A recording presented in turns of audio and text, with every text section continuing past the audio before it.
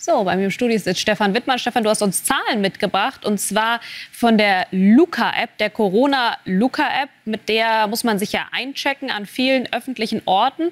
Und es gibt jetzt neue Zahlen an welchen Orten wie viel gewarnt wurde. Genau, da gibt es eine Auswertung und das könnte ja jetzt im Verlauf der Pandemie wieder immer wichtiger werden, weil jetzt ja Herbst, Winter kommen, die Zahlen einfach dynamisch sind und exponentiell nach oben gehen gerade. Vielleicht deswegen umso wichtiger zu wissen, wo sind denn eigentlich die Warnherde? Und ich sage bewusst Warnherde und nicht Infektionsherde, weil wir, gleich sehen werden in der Auswertung der Luca-App, es geht jetzt nicht um die Infektionen, sondern es geht darum, wo wurde über die App tatsächlich gewarnt, dass es eine Risikobegegnung gab. Und wir sehen, es ist eine anonymisierte Auswertung. Das heißt, da wurde datenschutzrechtlich zumindest alles eingehalten im Oktober 2021 und 181.000 Warnmeldungen gab es insgesamt. Und jetzt schauen wir uns die Verteilung dann gleich mal an. Sehen, der größte Batzen, 49,1 Prozent, der geht auf Clubs. 23,2 Prozent Bars. Also allein diese zwei Felder machen gut drei Viertel der Warnmeldungen aus. Jetzt kann man dazu sagen, wir sehen hier noch 10,9 Prozent in den Restaurants. Wo ist der Unterschied? In Clubs, Bars natürlich viel Bewegung, viel, viel Dynamik.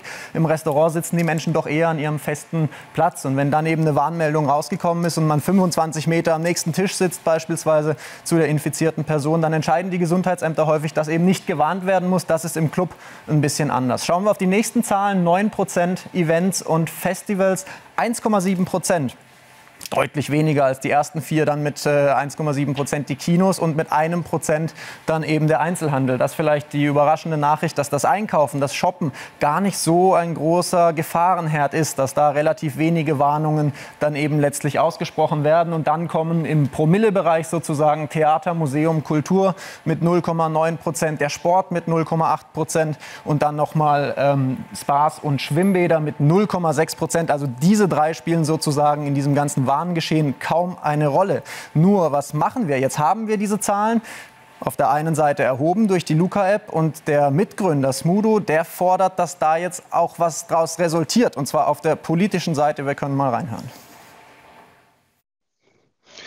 Also ich kann nicht beurteilen. Ich bin jetzt kein Spezialist aus dem Gesundheitsamt und auch kein Virologe. Ich kann nicht beurteilen, was man in einem Club machen müsste, damit dann dort etwas zu weniger Infektion kommen könnte. Was ich aber weiß, ist, dass wenn wir gar nichts wissen, dann müssen wir einfach alles dicht machen. Dann kann man sagen, man kann nicht rausgehen. Aber da wir wissen, dass zum Beispiel in Weimar, äh, was mal Modellregion ganz früh für Luca war, wurde schon sehr früh herausgefunden, dass der Einzelhandel eigentlich fast gar kein Risiko hat. Das ist doch eine Erkenntnis, mit der kann man doch arbeiten. Dann kann man doch den Einzelhandel ein bisschen lockern. Wenn man rausfindet, okay, Clubs sind schwierig, dann kann man sich überlegen, was können wir machen mit den den Clubs, dann müssen wir uns dort irgendwas überlegen. Und dann haben wir natürlich schon ein höheres Niveau an Freiheit, als wenn wir sagen, wir wissen gar nicht, was los ist, aber alle infizieren sich, lassen es alles zumachen. Das liegt ja auf der Hand.